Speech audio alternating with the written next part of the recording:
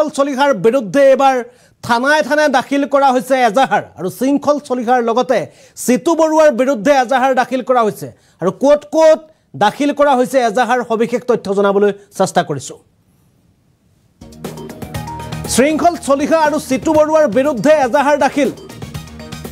এজাহাৰ দাখিল কৰা হৈছে শৃংখল চলিহা আৰু চিতু বৰুৱা। জিলাই জিলাই এজাহাৰ দাখিল কৰিছে সংখ্যালঘু সংগ্ৰাম পৰিষদৰ ফালৰ পৰা।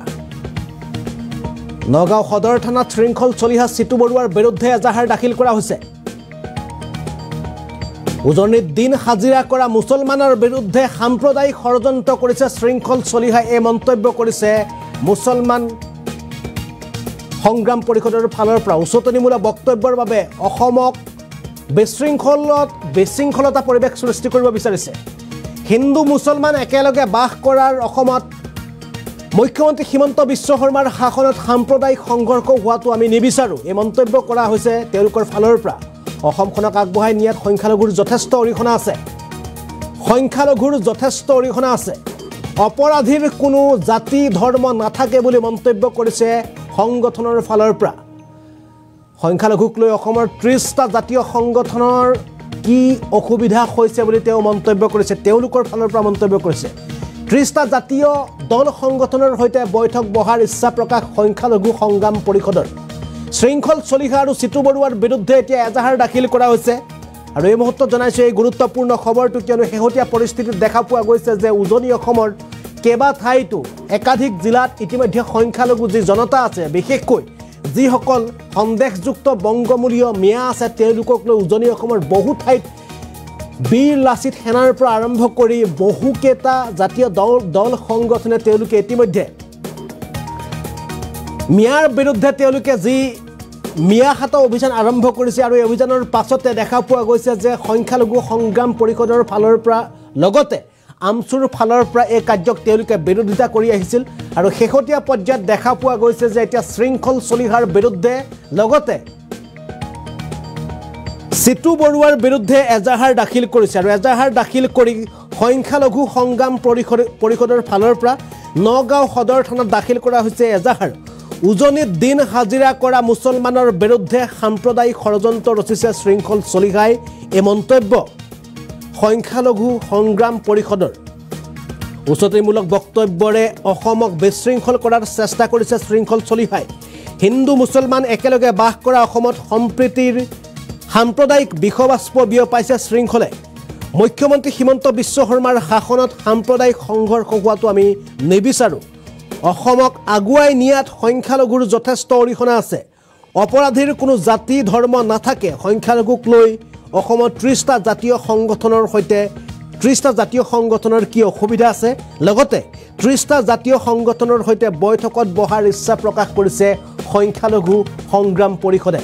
কিয়নো ইতিমধ্যে শৃংখল চলিহাৰ বিৰুদ্ধে এজাহাৰ দাখিল কৰা হৈছে।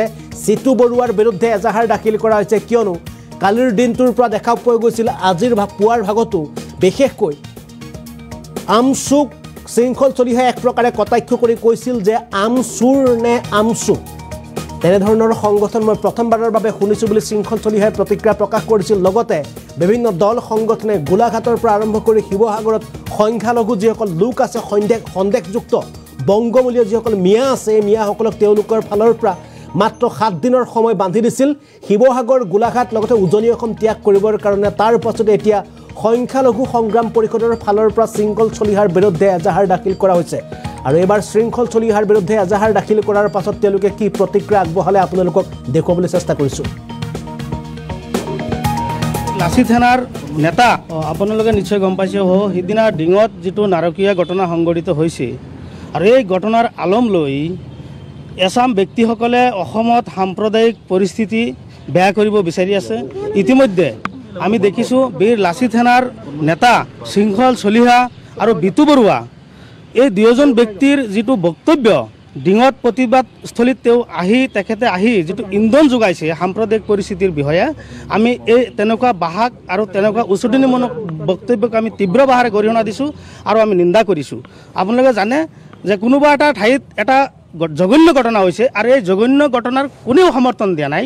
বিভিন্ন দল সংগঠন বিভিন্ন সচেতন মহল তাৰ লগতে আমিও সংখ্যালঘু সংগঠনসমূহ সংখ্যালঘু সংগ্ৰাম পৰিষদ প্ৰতিবাদ স্থলীত গৈ আমি প্ৰতিবাদ সাব্যস্ত কৰিছোঁ। অসমৰ চুকে কোণে প্ৰতিবাদ সাব্যস্ত কৰিছে। মছজিদৰ পৰা হাজাৰ হাজাৰ জনসাধাৰণ আমাৰ মুছলমান সমাজ আজি ওলাই আহিছে। এই অন্যায়ৰ বিৰুদ্ধে একমাত্ৰ ভুক্তভোগী মহিলা ছোৱালীজনীৰ ন্যায় বিচাৰি। আজি এইটোৰ অৰ্থ এইটো নহয় যে ইয়াত ডিঙত কিবা এটা ঘটনা হৈছে আৰু এইটো অৰ্থ এইটো নহয় যে উজনি অসমত মুছলমান ব্যক্তিসকল যি ব্যক্তিসকলে দিন হাজিৰা কৰি আজি তেওঁলোকে জীৱন নিৰ্বাহ কৰি আছে আৰু সেই তেওঁলোকক তাৰ পৰা খেদি পঠোৱা বা অসমৰ পৰা খেদি পঠোৱা যি যি ধৰণৰ এ, কুচকাজ চলি আছে। এইটো নিন্দনীয় ঘটনা। গতিকে আমি সংখ্যালঘু সংগ্ৰাম পৰিষদে অসমৰ মাননীয় মুখ্যমন্ত্ৰী ডাঙৰীয়াক আমি আহ্বান জনাইছোঁ যে অসমখন যাতে কোনো ধৰণৰ কোনো দুষ্ট চক্ৰই বিনষ্ট কৰিব নোৱাৰে। আমি সংখ্যালঘু সংগ্ৰাম পৰিষদ নগাঁও জিলা সমিতি নহয় আজি গোটেই জিলাই জিলাই শৃংখল চলিহে আৰু বিতু বৰুৱা আৰু আৰু কেইজনমান ব্যক্তিৰ বিৰুদ্ধে আমি এজাহাৰ দাখিল কৰিছোঁ। আমি আইনক আমি সম্পূৰ্ণভাৱে বিশ্বাস কৰিছোঁ আৰু অসমৰ মাননীয় মুখ্যমন্ত্ৰী ডাঙৰীয়াৰ প্ৰতি আমাৰ পূৰ্ণ বিশ্বাস আৰু আস্থা আছে যাতে যিসকল ব্যক্তিয়ে উচতনিমূলক বক্তব্যৰে অসমখন জ্বলাব বিচাৰিছে অসমৰ অসমখন এনেকুৱা এটা ৰাজ্য যি ৰাজ্যত বিভিন্ন জাতি জনগোষ্ঠী আমি শান্তি সম্প্ৰীতি এনেদৰে জাল আজি বহুত বছৰ ধৰি আমি যুগ যুগ বছৰ ধৰি আমি ইয়াত বসবাস কৰি আছোঁ। আমাৰ মাজত কোনো ধৰণৰ ভেদ ভাৱ নাই। হিন্দু মুছলমান বিভিন্ন ধৰণৰ জনগোষ্ঠী আমি বসবাস কৰি আছোঁ। তেনে এটা ৰাজ্যত এছাম ব্যক্তিসকলে যেতিয়া সাম্প্ৰদায়িক ৰূপ দি কোনোবা ৰাজনৈতিক ব্যক্তিসকলে ৰাজনৈতিক মুনাফা আদায় কৰিব বা ৰাজনৈতিক ব্যক্তিসকলৰ নিৰ্দেশ মতে এই অসমখন বাতৃঘাতী সংগত সৃষ্টি কৰিব বা গোষ্ঠীগত সংঘৰ্ষ সৃষ্টি কৰিব এইটো কোনোপধ্যে আমি মানি নল'ম। আৰু মুখ্যমন্ত্ৰী ডাঙৰীয়াৰ নেতৃত্বত তেনেকুৱা কাম যে অসমত হ'ব আমাৰ কোনো ধৰণৰ বিশ্বাস নহয় আৰু আমি আশাও নকৰোঁ। যোৱা ৰাতি আমাৰ মুছলমান কেইজনমান নিৰহৰ দিন হাজিৰা কৰা কাম কৰা ব্যক্তিসকলৰ তেওঁলোকক গুৰুলা গুৰুলকৈ তেওঁলোকৰ নিৰ্মমভাৱে মাৰপিট কৰি যি ধৰণৰ হেৰি কৰিছে আপোনাক জয় গান শ্ল' শ্লোগান দুৱাইছে আৰু এইটো এক পৰিকল্পিতভাৱে ইচ্ছাৰ বিৰুদ্ধে তেওঁলোকক কাম কৰাইছে অতি নিন্দনীয় কাম গৰিহণাযোগ্য। গতিকে আমি ইয়াৰ লগতে আমি ডি জি পি মহোদয়কো আমি আহ্বান জনাইছোঁ যে আপুনি আইন শৃংখলাৰ অসমৰ মুৰব্বী হয়। আপোনাৰ নেতৃত্বত এনেকুৱা আমি পৰিস্থিতি আমি নিবিচাৰোঁ। আমি আইন শৃংখলা বজাই ৰাখি আমি গণতান্ত্ৰিকভাৱে আমি তেওঁলোকক অপশক্তিক আমি ৰুদিব লাগিব। গতিকে অসমখন আগবাঢ়ি লৈ যোৱাৰ ক্ষেত্ৰত সংখ্যালঘু সংগঠন বা সংখ্যালঘু জনসাধাৰণৰ যথেষ্ট ভূমিকা আছে। আৰু আমি ত্ৰিছটা সংগঠনে যিটো আপোনাৰ হেৰি জনাইছে চেলেঞ্জ জনাইছে যে আপাৰ আছামৰ মুছলমান ব্যক্তিসকলক খেদিব। আমি ত্ৰিছটা সংগঠনক আমি আহ্বান জনাইছোঁ যে আপোনালোকৰ কি অসুবিধা আছে যিটো অসুবিধাৰ কাৰণে আজি মুছলমান সমাজ আমি সংখ্যালঘু সংগ্ৰাম পৰিষদে আমি ওলাই আহিছোঁ। এই অন্যায়কাৰীৰ বিৰুদ্ধে অন্যায়কাৰী আৰু অপৰাধী কোনো তেওঁলোকৰ কোনো জাত ভেদ নাই আৰু অপৰাধীসকলক কোনো ধৰ্মৰ ভিত্তিত প্ৰতিবাদ হ'ব নালাগে আৰু ধৰ্মৰ ভিত্তিত কোনো ধৰণৰ আইনী ব্যৱস্থা হ'ব নালাগে। তাৰ বাবে আমি পূৰ্বৰ পৰাই আমি দাবী জনাই আহিছোঁ গতিকে ত্ৰিছটা সংগঠনক আমি আহ্বান জনাইছোঁ আপোনালোকে আমাক মাতক। আমি আপোনালোকৰ লগত বহি ইয়াৰ অসমত কি সমস্যা আছে যে অসমখন আগবাঢ়ি লৈ যোৱাৰ ক্ষেত্ৰত আমি একেলগে বহি অসমখন শান্তিৰে আমি আগবাঢ়ি লৈ যাওঁ। আপোনালোকে নিশ্চয় গম পাইছে।